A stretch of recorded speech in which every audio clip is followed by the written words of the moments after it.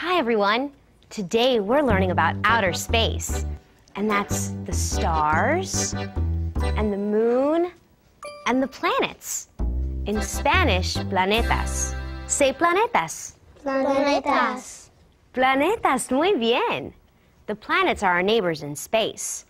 Come help us finish our planets. I'm working on Saturn. I'm making Mars. I'm making planet Earth. That's the planet we live on. Now let's see what outer space looks like when we turn off the lights. Hooper, can you get the lights for me?